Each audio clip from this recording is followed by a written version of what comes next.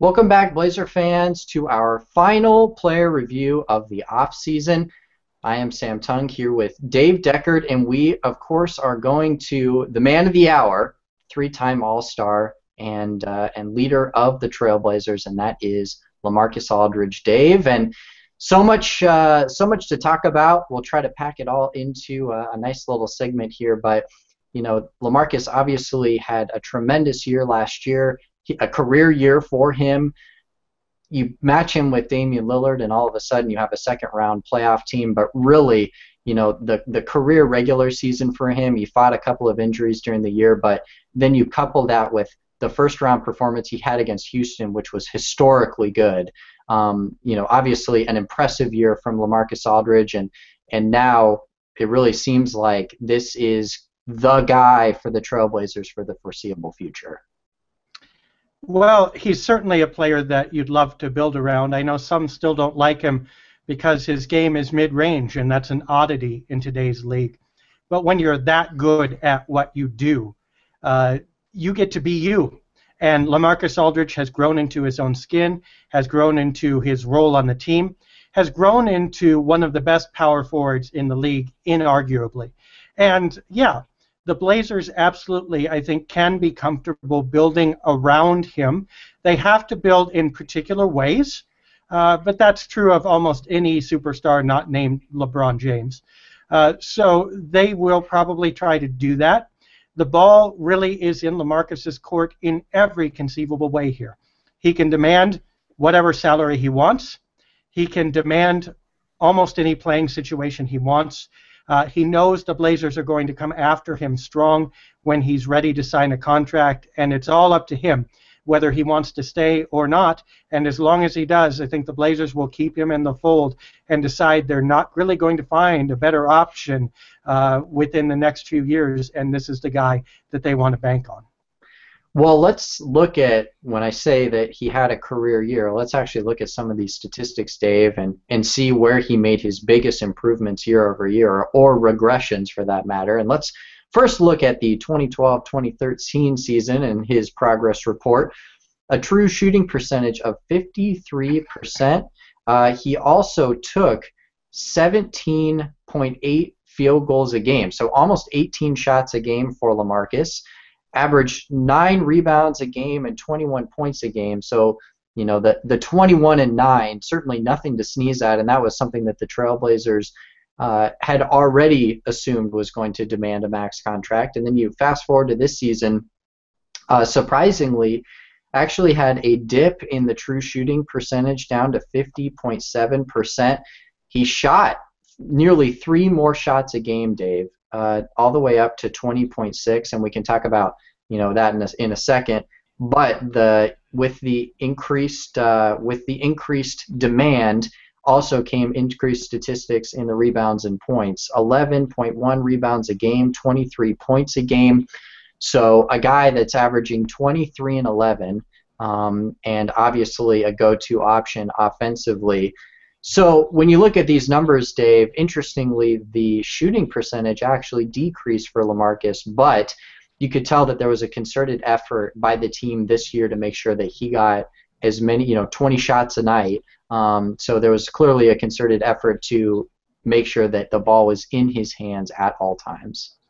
And it's not just that he got the shots; it's where he got the shots. Uh, they go hand in hand. You look at LaMarcus Aldridge's pr- progression as a rookie and first, second year, third year player under Nate McMillan. Uh, he was tabbed to go inside. Now, when Greg Oden came on board, uh, that lessened a little bit, but Oden was never healthy, so Aldridge became the default post guy. And he was good at it, and he was efficient at it. He wasn't comfortable doing it, it was not his preference, but he split the, the offense pretty well between back to the basket and inside game versus the mid range jumper. Now, as the offense has developed around him specifically and has he has become the number one option, the perpetual all-star, he's gotten to take the shots that he likes, which is that mid-range, uh, you know, 15 to 18 footer, and he likes it you know, sometimes with his back to the basket where he can make a couple moves, but mostly he likes to face up or come off the, the slipped pick. So that's that's his game, and the Blazers have given it to him. That's going to impact the true shooting percentage and the shooting percentage. They're going to go down, obviously, with that kind of shot. But when you've got Robin Lopez inside clogging up the middle, when you want to open up lanes inside for Damian Lillard, for instance, to penetrate, you have to take some of the offense out of the lane. So the Blazers have compensated for for LaMarcus Aldridge by putting the personnel around him that can fill the void that he left, and everybody's happy. So you know, it, you take a little bit of a statistical dip in certain areas to get him in his comfort zone and to design the offense that he likes, and that's going to work for the team. Well, let's now sneak to our bang for buck section here, Dave. And really, I mean, at this point, we're just talking about max contract players when you when you try to compare what Aldridge is doing to other players. And we're going to be able to compare three guys. Um, I'm going to guess you can guess who the three are going to be uh, before we even get there. But for for uh, you know, if, in case you you couldn't get it, uh, we're gonna we're gonna do it anyways. Uh, Lamarcus first up on the screen, as we had mentioned, the 50.7% true shooting percentage. 11 rebounds per 36 minutes. Also, a, something that we haven't mentioned at all thus far, Dave the fact that Aldridge, uh, an improved defender in this system, really the not only was the system designed around his offensive skills, but it was also making sure that he didn't have to be the most important defensive player on the floor like he was two seasons ago. So uh, that defensive rating down to 104, which I believe is the best of his career last season. Uh, player B average uh, shot 59.1% as the true shooting percentage, so a very high percentage value. Also, big rebounding numbers 12.4 rebounds per 36 minutes. Um, if you don't know who this is already, uh, you've been probably living under a basketball rock here for the last couple of years. Uh, and also 104 defensive rating. Um, and then the last guy, True shooting percentage at 58.3, so again, a very high number compared to Lamarcus. Nine and a half rebounds per 36 minutes, and actually a better defensive rating than the two aforementioned players at 103. Player B, Dave, shockingly, is Kevin Love, who has a pretty high rebounding number, as we mentioned. Um, obviously, a very high true shooting percentage, and another player that can play a little bit of inside outside game um, and the defensive rating, which was comparable to Lamarcus. And the third player, uh, the third guy that everyone seems to talk in the same vein as Lamarcus, is Blake Griffin. Uh, at $17.6 million a year on his salary. I should mention Kevin Love making $15.7 million, but that number is certainly set to go up after the end of this season. Um, Griffin also shooting a pretty high percentage, actually a better defensive rating than both Aldridge and Kevin Love. So, Dave, let's start the conversation. Uh, when you compare Lamarcus to these two other guys, A, are these the two that, that Lamarcus should be compared to in that elite level? Should he even be compared to these two? Um, and what do you see uh, that maybe differentiates Aldridge from Love and Griffin? Well, the first thing is where they get their shots, obviously, and again, that's going to account for those shooting percentages. Kevin Love benefits from a lot of three-pointers taken, which is going to up that true shooting percentage. Blake Griffin gets a lot of shots inside, has a little bit more limited of an offense, or at least more limited of an effective offense. Uh, so both of those are are going to see that stat go up. And advanced statisticians, for that reason, are probably going to like those other two better than Aldridge. And and, and fair enough. Uh, there are arguments to be made either way. However, I, I think the thing you can't do is uh, parse Aldridge out of this conversation because for for what he does, uh, for the game that he has, he is just simply incredible. Let's put it this way: he is taking the most inefficient game, uh, offensive game possible, and making it look good making it the centerpiece of a winning team, a 50 win team, a second round playoff team. Now, whether they can go to the elite of the elite level with that, that's another question. But has either of those other players gone that far either? No, they have not. Uh, Blake Griffin obviously has come the closest, but look, he's also surrounded by a much stronger team than either Aldridge or Love was. So, you know, Aldridge is transforming. It's like Chef. You ever watch Chopped or something like that, where they give you a mystery basket of crap ingredients and you're supposed to make it into something wonderful? Well, the mystery basket that the Wolves give Kevin Love or that the Clippers give Blake Griffin is a little better quality than the Blazers give Aldridge, and, and by design, because like we said before, Aldridge likes this kind of game. But Aldridge is the chef who does the magic of opening that basket and going, huh, mid-range shot, and everybody else goes, ew, and he goes, oh, look what I can make out of this, and it's wonderful. So you've got to give him credit for that. And I think that, yes, absolutely, he deserves to be included in that conversation. In some ways, you might put him at the top of that conversation. I think, at, at the very least, he is able to do more with less or more in more different ways than maybe either of the other two. Love you probably put above him, but Blake Griffin certainly isn't as varied, and you don't trust him in as many situations as you do Aldridge. Well, uh, first off, I should say it was a little surprising to see Lamarcus on Portlandia, but it would be a lot surprising to see Lamarcus on the Food Network. Um, and and the and the second the second point here, Dave. Um, is do you think that Lamarcus as a number one option is better than these two guys? I think that, you know, I want to ask that question outright because, you know, when you look at, at Kevin Love, you could argue that his his surrounding cast was actually inferior to what the Trailblazers has been recently.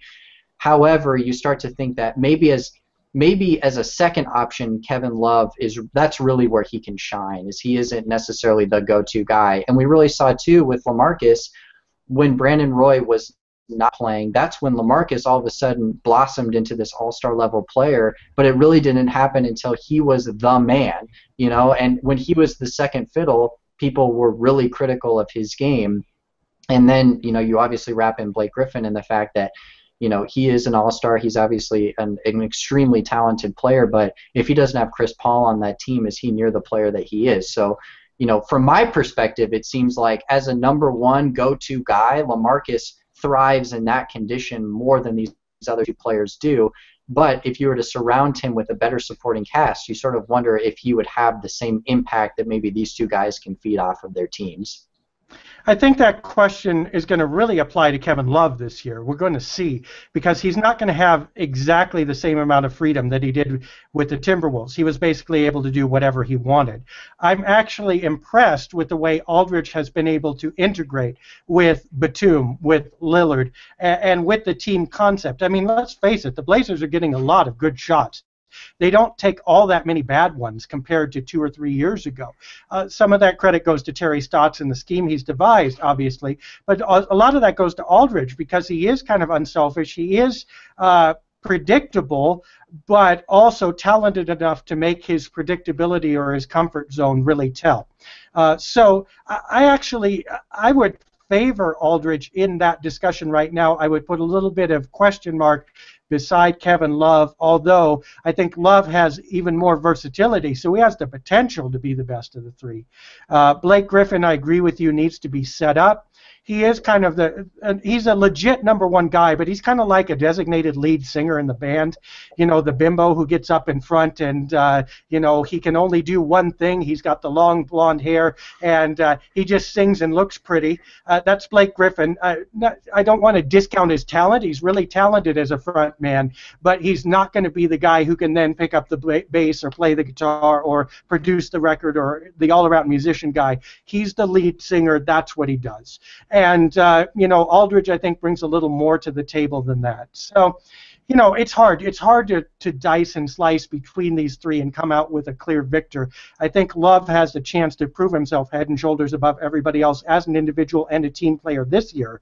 But I think Aldridge is still right on his heels. And if Love falters at all, you have to point at Lamarcus and say he's the best combination of number one option and team oriented guy and versatile enough to carry both.